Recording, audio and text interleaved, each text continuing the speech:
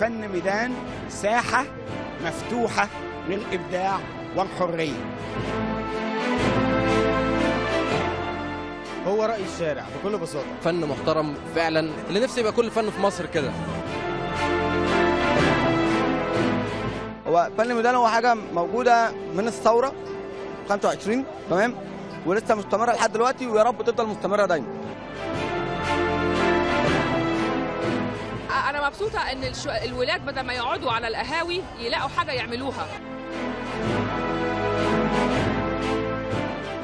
اللي يخاف من ريشة ولون ما يقدرش يحكم شعب بيحلم ويرسم ويفكر ويغني.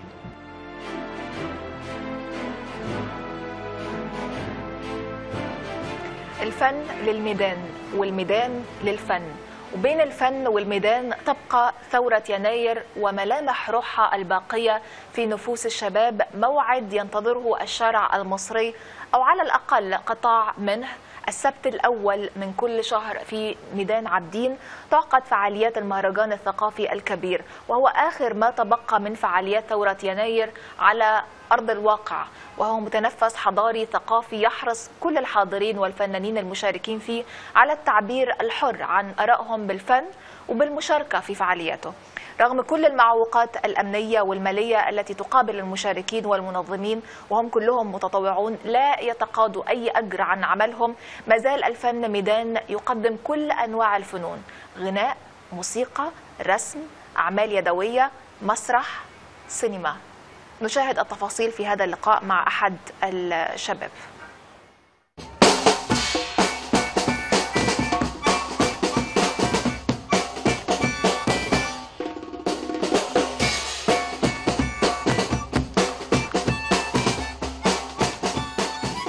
فن ميدان هو احتفالية فنية ثقافية بتتنظم كل أول سبت في الشهر آه، في ميدان عابدين هنا وفي المحافظات المختلفة. اللي بينظم الفن ميدان هو متطوعين بدون تقاضي أي أجر. الفنانين اللي بيجوا على المسرح زي ما انت شايف كلهم ما بياخدوش أي أجر هم بيجوا متبرعين بالفن بتاعهم. الجمهور ما بيدفعش ticket ولا بيعمل أي حاجة هي بتتعمل في الشارع في الميدان يعني من حق حق- من حق أي حد إن هو يبقى ال- الفنون والثقافة جزء من حياته. زي ما انت شايف الفن ميدان هو بكل بساطة مسرح كبير في الميدان. بيجي عليه فرق كبيرة زي مسار إجباري وكايروكي ورامي عصام و... وباسم يوسف جنة وعلي الحجار. جنة كل الفنانين الكبار بدون تقاضي برضو أي أجر. وجنة بعد كده آه، فرق متوسطة لسه بتنشأ وفرق لسه صغيرة بتنشأ. وفي فرق جت معانا من سنين هي دلوقتي فرق كبيرة قوي زي ما انت شايف برضو هتلاقي في كل ده شغال مع بعضه اللي أنا هقوله ده كله شغال مع بعضه. في سينما برنامج سينما شغال آه، بيبقى فيه ورش للأطفال بيبقى فيه حاجات ترابيزات على اليمين وعلى الشمال handmade حاجات مصرية اللي إحنا بنعرض الحاجات المصرية ال handmade آه، بيبقى فيه معارض فنون تشكيلية معارض ناس بترسم بالناس معارض ورش للأطفال بتتعمل بتعلم الأطفال حاجات برامج توعية كل الناس اللي بتنزل آه، شباب من الجامعات بيقدروا يوعوا. زي ما انت شايف احتفالية كبيرة جدا. كل أنواع الفنون هتلاقي بنتومايه هتلاقي كل أنواع الفنون موجود فيها. هي ساحة للتعبير عن الرأي وأرقى طريقة للتعبير عن الرأي هو الفنون والثقافة. ولو فعلا إحنا اتعلمنا إزاي نعبر عن رأينا بالفنون والثقافة مش هيحصل عندنا أي مشكلة. زي ما انت شايف الميدان مليان كل الأطياف. هتلاقي إخوان وصور وفلول وناس عادية وأسر وأطفال. ما حصلش أي مشكلة في الميدان وما حصلش عندنا أي اشتباكات ولا أي حاجة.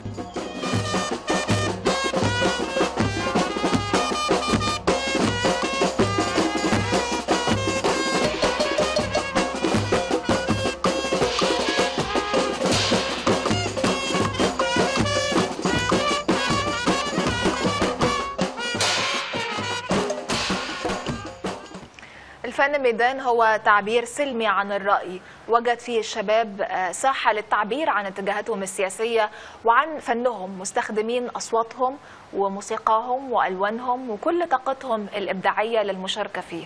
وسط جموع الحاضرين الذين يشاركونهم أيضا بالغناء في آه، جو يعيد للأذهان روح الثمانية عشر يوما الخالدة من أيام ثورة يناير 2011 لا تستطيع الثورة أن تستمر في الميدان إلى الأبد. فللمطالب السياسية أو الاقتصادية آليات أخرى كثيرة غير الشارع لتحقيقها. ولكن الإبداع يستطيع أن يسكن الشوارع والنفوس في كل وقت. نشاهد الآن هذه اللقاءات مع بعض الفنانين والحاضرين أيضا. صباح الخير على ولادك صباح الياسمين والفل تعيش وفي الذل حسيت إنه إحنا على الستيج إن إحنا حاسين إن في روح الثورة وده شيء حلو جدا. ده خلانا إن إحنا أصلا قلنا ارتجال هو ما عملناش عليه أي بروفات اللي إحنا قلناه على المسرح ده إحنا قلناه كده؟ آم، عشان إحنا حسينا إنه في في حاجة لسه موجودة لازم نقول.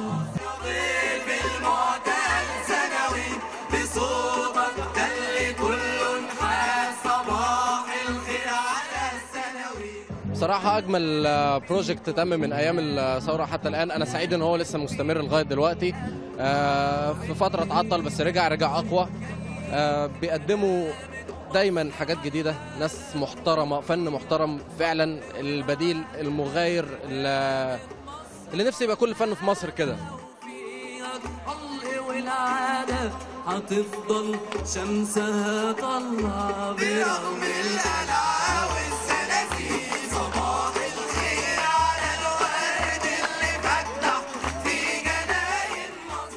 مش بس مظاهرات ومش بس نزول ميادين واقتحامات وضرب والكلام ده كله.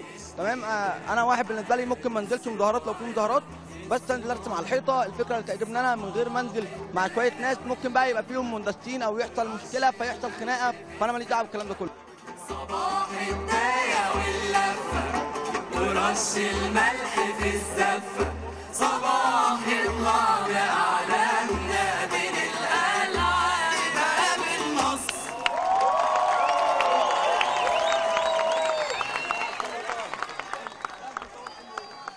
فن ميدان آه، حاجة جميلة واللي هي اللي اتبقت من أحداث الثورة لحد دلوقتي و... وإن في تعنت من الحكومة في الفن ميدان ده بالذات عشان هي بتضايق بتضايق علينا وعايزة تلغيه. يعني هو تقريبا الحاجة الوحيدة اللي اتبقت الجميلة من الثورة كلها. يعني آه، هيبقى- هتبقى حاجة كويسة إن هم يدعموا الفن والثقافة و... وحاجة جميلة زي دي الشباب بت- بتبقى مبسوطة بيها. بس يعني ما يأثروش على توجهها يعني حتى لو توجهها مثلا بيخالف ال... بيخالف رأي الحكومة فما يبقاش ليها توجه معين يعني عشان بقت الحكومة تبقى تبع حاجة خاصة يعني.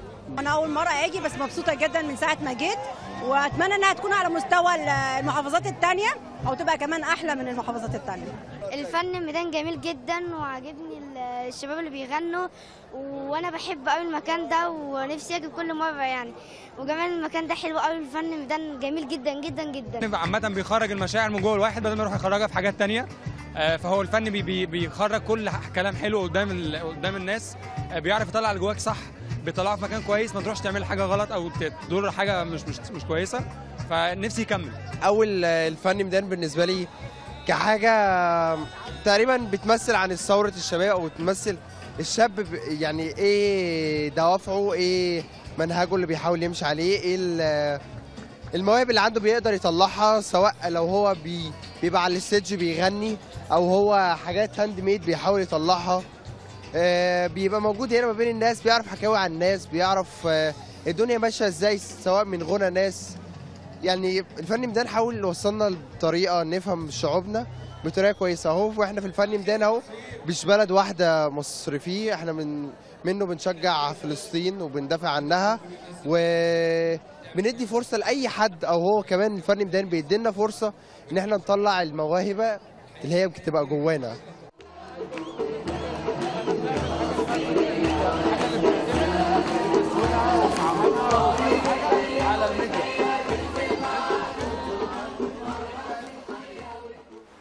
وجد الشباب في الفن ميدان مساحة لعرض آه، مشغولاتهم كمان اليدوية وبيعها للحاضرين لأنه هو ميدان للفن وكمان للعمل وكسب لقمة العيش والخروج من دوامة عدم الإمكانيات ولإيجاد مخرج من أزمة البطالة بالفن. وسط جو احتفالي يضفي على ميدان عابدين بهجة ذات نوع خاص. دعونا نشاهد هذا اللقاء.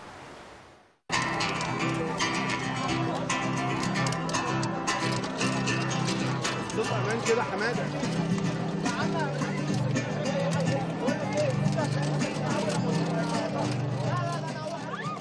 باجي بحتفل كل أول شهر معاهم. بنحتفل آه، طبعا كل شهر بيحكي عن نفسه. الشهر ده بيحكي عن الفلسطينيين وال والاذى اللي حصل ليهم الأيام اللي فاتت دي. في أيام رمضان. في أيام شهر رمضان. بس كده يا باشا. طيب انت يعني بتجازي معاك البيع هنا وبتكسب؟ والله الحمد لله كل يوم ربك بيرزق النمله في قلب الحجر كل يوم ليه رزقه أول مرة ليا هنا بس تجربة ممتعة الصراحة. يعني ناوية إن شاء الله إن أنا كل أول سبت من كل شهر ناوية أكررها كل شهر إن شاء الله. بس الجو أساسا جو روعة هنا. يعني والشغل ممتاز جميل. بس أحسن حاجة إن أنا حاسة بالشغل اللي أنا بعمله يعني. حاجات كلها صناعة يدوية حاجتي دي أنا اللي بعملها بإيدي يعني. بس يعني إن أنا مبسوطه الناس بيها يعني.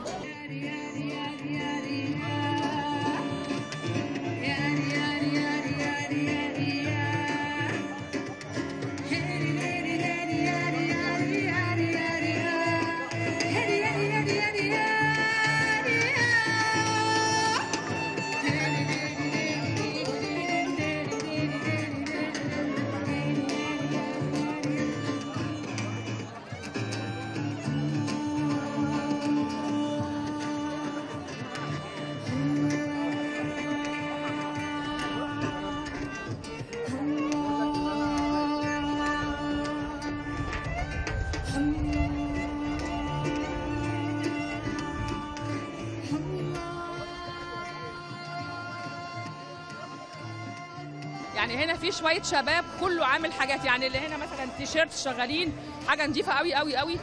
آه، آه، آه، هنا شوية أربع شباب بيجيبوا حاجات يعني بمبالغ بيناتس وبيعملوها وبيجوا هنا ويدفعوا تمن الترابيزة علشان يشتغلوا. فيا ريت البلد كلها تشتغل. أنا مبسوطة إن الولاد بدل ما يقعدوا على القهاوي يلاقوا حاجة يعملوها. فاهم إزاي؟ يعني بدل ما يقعدوا على القهوة لأ أنا هعمل حاجات يا رب حتى لو ب 100 جنيه وأشغلها مش هقول 1000 ولا 10000 لأ ده 100 جنيه وهيشغلها هيشتغل بدل ما هو قاعد على القهوة. يعني أنا عاجبني هنا قوي في شوية شباب هنا حلوين قوي عاملين أفكار بسيطة. لكن يعني يعني آه، آه، آه، عايزة أقول لك إيه؟ اللي عايز يشتغل هيشتغل. اللي عايز يعمل أي حاجة بأي فلوس قليلة هيعملها. بس نشتغل نشتغل. مجموعة شباب آه، عاملين brand اسمه بيانتا ده لسه newborn ما بقالوش مثلا شهر أو حاجة. فإحنا عاملين design ات مختلفة design فيه حروف عربي عشان خاطر اللغة الأساسية بتاعتنا. وعاملين حاجات في ال social media عشان برضو الشباب والكلام دوت. وعاملين حاجات زي شباب مفتح. وعاملين حاجات لمنير فرصة بنت جميلة. فده ده كله بالنسبة لنا عبارة عن فن. بنقدر نحاول نوصله للناس. ويبقى يعتبر برضه فن هادف اللي إحنا عاملين حاجات حاجات توعية اسمها ساعات يمين النهارده. design برضه تاني. والفن ميدان بالنسبة لنا إن هو يعني ميدان لكل حضارة ميدان آه، للثقافة ميدان آه، للسياسة ميدان لكل حاجة. بيعبر عن كل حاجة في البلد. البل- البلاد كلها بتنهض عن طريق الفن. هو ال- ال- الصورة بتاعتها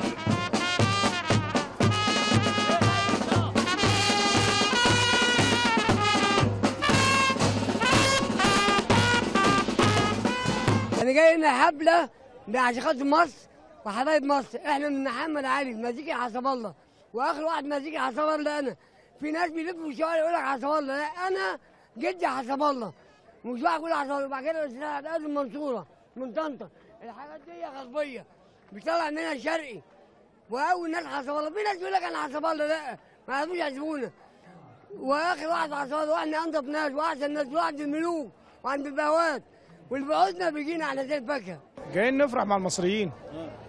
و- وجايين آه، نقول حاجات وطني عشان خاطر مصر وحب مصر وكده يعني. حب مصر. هذه الفعالية الفن ميدان بتعقد السبت الأول من كل شهر لكن في الشهر الحالي لم يخرج هذا الحدث الثقافي إلى الميدان في موعده لدواعي أمنية. لكن بعد تدخل بعض المسؤولين وإصرار منظمي الفعاليات ودعم وزارة الثقافة تم إقامته في السبت التالي. ويتبنى الفن ميدان كل شهر قضية أو موضوع رئيسي آه، تدور حوله الأنشطة. هذا الشهر كانت غزة هي موضوع الميدان ومحور إبداعه. فن ميدان ساحة مفتوحة للإبداع والحرية معتمدة على نقطتين. لو ما جناش الناس هنبقى مجموعة قد كده بن- بنتكلم بعض.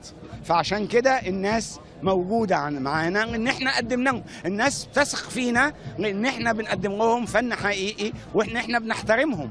فده عشان كده العنصرين بتوع الفن ميدان ناس اللي بتيجي إنها تشوف كل الفنون. كل الفنون. أنتوا شفتوا الشهداء مرسومين في آه، على على قماش أو على ورق أو على الجدران. آه النهارده كمان عندنا آه إنه اليوم إحنا كل مرة في فن بنام بنختار موضوع. موضوعنا المرة دي هو المقاومة الفلسطينية أو التضامن مع آه فلسطين.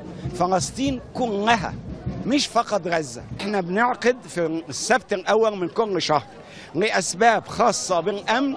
ما قدرناش نعمل المرة اللي فاتت لكن لما أخذنا التصريح كل زمايلي المنظمين اتفقوا فورا إن إحنا نعمله السبت ده.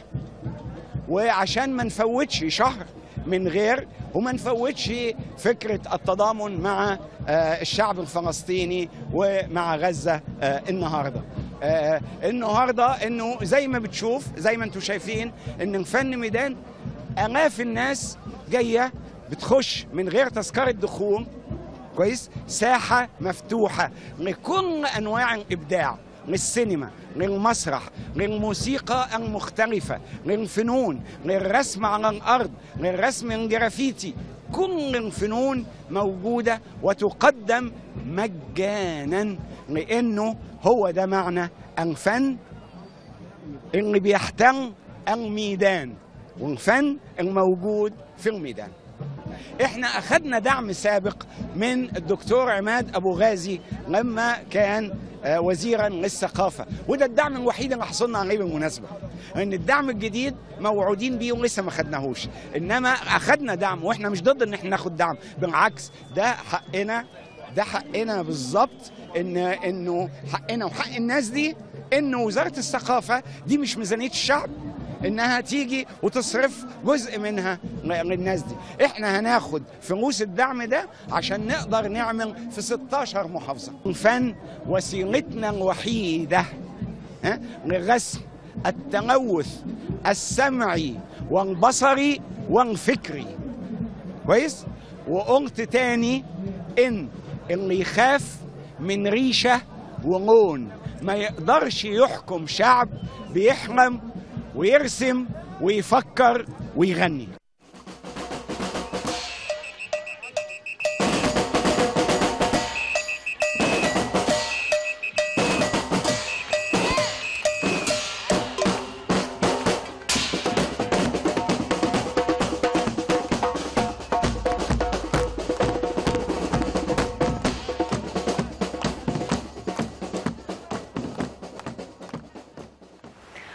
علاقة الدولة بالفن ميدان علاقة ملتبسة فهو نشاط ثقافي تلقائي شعبي لكنه أصبح الآن يحصل على آه، دعم مادي من وزارة الثقافة.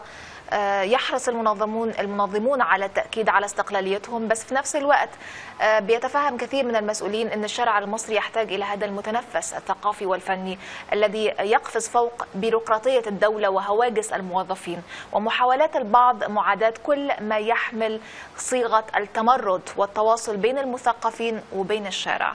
دعونا نشاهد هذا اللقاء مع الدكتور مسعود شومان رئيس هيئة قصور الثقافة ليحدثنا عن علاقة الدولة بالفن ميدان ومحاولات نشر هذه الفعالية من ميدان عابدين بالقاهرة إلى ميادين أخرى بمحافظات مصر لكن بعد فاصل قصير.